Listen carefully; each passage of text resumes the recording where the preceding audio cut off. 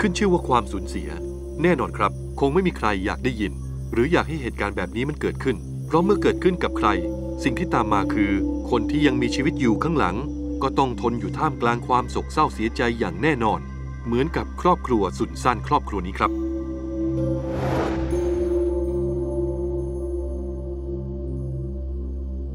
มีผลกระทบด้านจิตใจ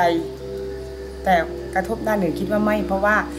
บอกยังไงว่าเตรียมตัวมาตลอด เป็นคนที่รู้จักคำว่าธรรมชาติ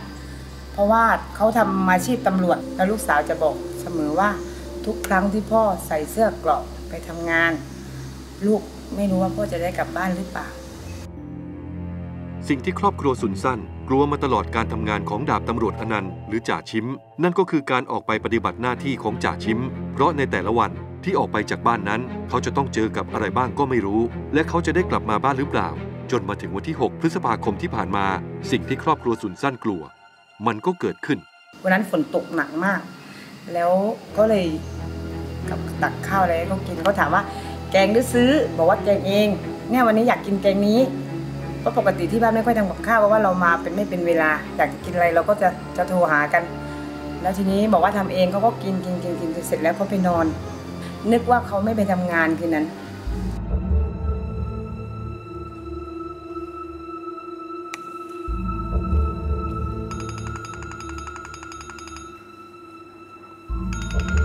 เป็นปกติทุกครั้งเมื่อจ่าชิมได้รับคำสั่งจากผู้บังคับบัญชา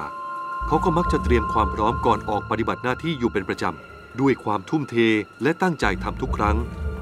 จนมาถึงคืนวันที่ 6 พฤษภาคม ในคืนนี้นี่เอง ซึ่งจะเป็นคืนสุดท้ายที่เขาจะได้ออกจากบ้านไปปฏิบัติหน้าที่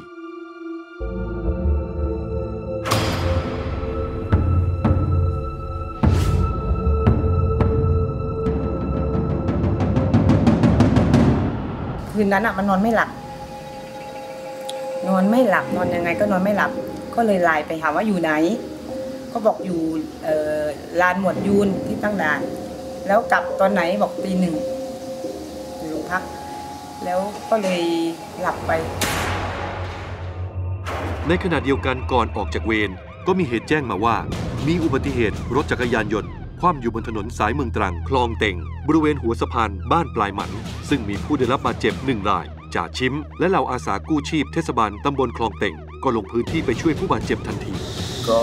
ตอนนั้นได้รับแจ้งมาจากวิทยุนะครับว่าขอรับผู้บาดเจ็บล้มรถ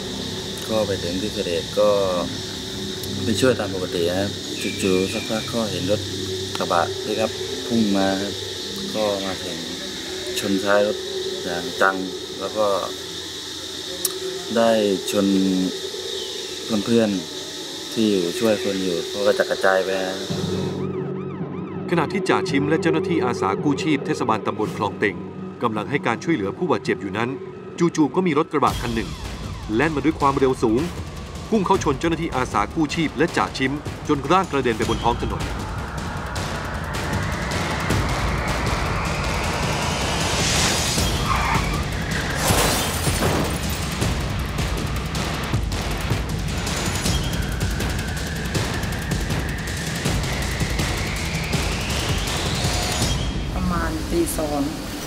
อเพื่อนสนิทเขาที่เป็นตำรวจโทรมาขึ้นชื่อเขาบอกเขาเลยบอกว่า น้องนิดอยู่กับใครบอกนอนอยู่เขาสั่งหอนใจแล้ว มีอะไรหรือเปล่าพี่ เนี่ยเขาเลยบอกชิมนะ ชิมโดนรถชนนะ จากเหตุการณ์ที่เกิดขึ้นในครั้งนี้ ส่งผลให้เจ้าหน้าที่อาสากู้ชีพ เสียชีวิตตรงที่เกิดเหตุทันที 3 ราย และเสียชีวิตที่โรงพยาบาลอีก1ราย รวมทั้งหมด 4 รายด้วยกัน ซึ่งได้แก่นายตะวันจันด้วงอายุ 17 ปี นายธนากร คงตุ้ม อายุ 17 ปี นายพานุเดช แก้วอิน อายุ 19 ปี และนายประเทือง สังเมือง อายุ 38 ปี ซึ่งทั้ง 4 ราย เป็นอาสากู้ชีพทั้งหมด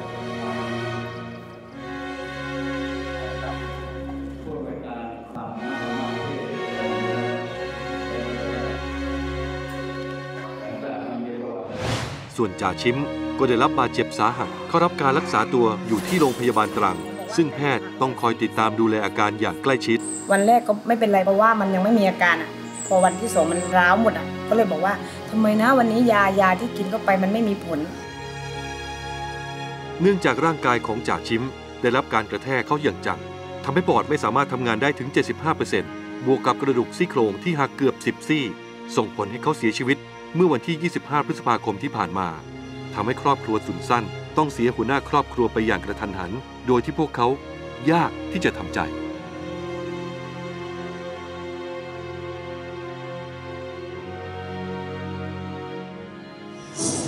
มาถึงวันนี้พ่อจากไปหนูก็อยากจะบอกให้พ่อรู้ว่า ถึงกายพ่อจะไม่อยู่แต่ใจพ่อยังอยู่ที่หนู ที่ที่แม่และทุกๆคนเสมอ และในวันนี้หนูมีโอกาสได้ร้องเพลงอีกครั้งหนูก็เลยอยากให้พ่อฟัง เพลงที่พ่อ ฟังเป็นประจำก็คือเพลงลูกของพ่อค่ะ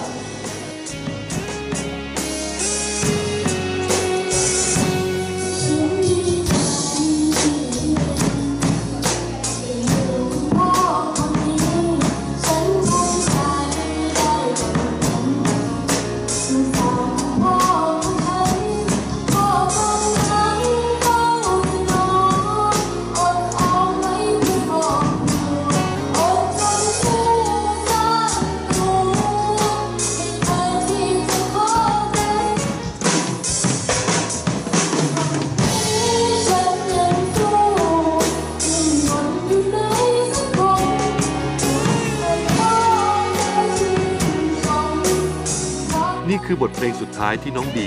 ลูกสาวคนสุดท้องของจ่าชิม อยากจะสื่อสารให้พ่อของเธอได้ฟัง เพราะบทเพลงที่ว่านี้เป็นเพลงที่จ่าชิม ชอบให้เธอร้องให้ฟังอยู่บ่อยครั้ง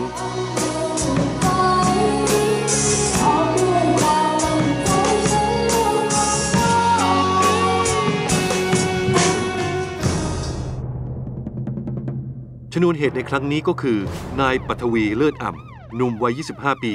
ได้ดื่มสุรามาก่อนขับรถมายังจุดเกิดเหตุ พุ่งเข้าชนกลุ่มเจ้าหน้าที่อาสากู้ชีพและจ่าชิม จนส่งผลให้มีผู้สังเวยชีวิตถึง 5 รายด้วยกัน ซึ่งเจ้าตัวก็ได้รับบาดเจ็บ และหลังจากเกิดเหตุเจ้าหน้าที่ตำรวจก็พบขวดสุราตกอยู่ภายในรถของเขา เจ้าหน้าที่ตำรวจจึงตรวจแอลกอฮอล์ทันที ซึ่งก็พบว่ามีปริมาณเกินกว่าที่กฎหมายกำหนดทำให้นายปัทวี ถูกแจ้งข้อหาขับรถในขณะเมาสุรา และขับรถโดยประมาท เป็นเหตุให้ผู้อื่นถึงแก่ความตาย และขณะนี้ยังไม่ให้การประกันตัว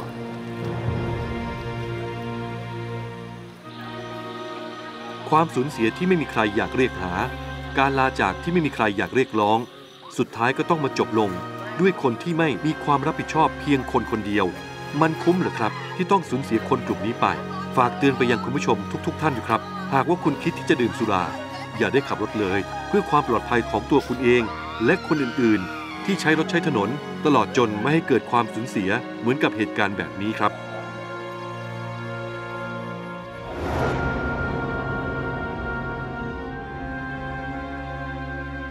อยากให้มีมาตรการที่แบบเด็ดขาดอะค่ะ เพราะว่า